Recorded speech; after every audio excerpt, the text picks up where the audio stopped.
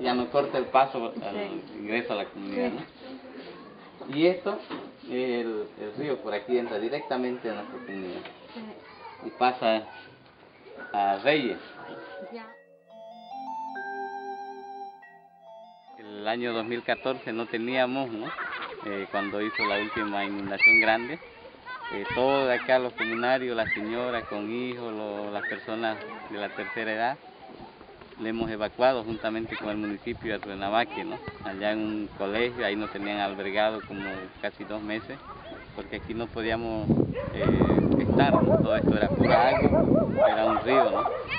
Eh, también acá, ¿no?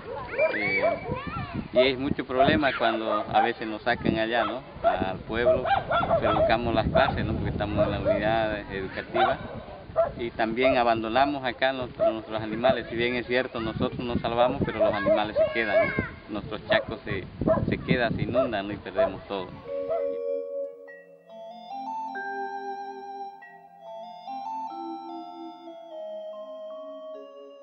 Nosotros hemos trabajado prácticamente en el tema de mano de obra, en material como la madera y la Christian Eid ha puesto la calamina, el clavo y todos los, accesorios para poder construir. ¿Por qué el nombre? Porque es un albergue donde nosotros en tiempo de inundación nos vamos a refugiar. Si bien es cierto, este año no ha inundado y estamos contentos, ¿no? Gracias a Dios que no pasó nada este año, pero ya hemos previsto ¿no? de contar con eso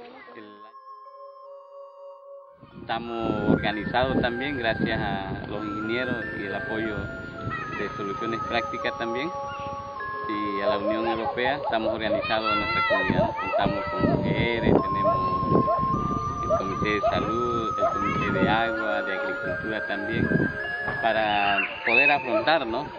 cualquier desastre que haya, sea sequía, inundación.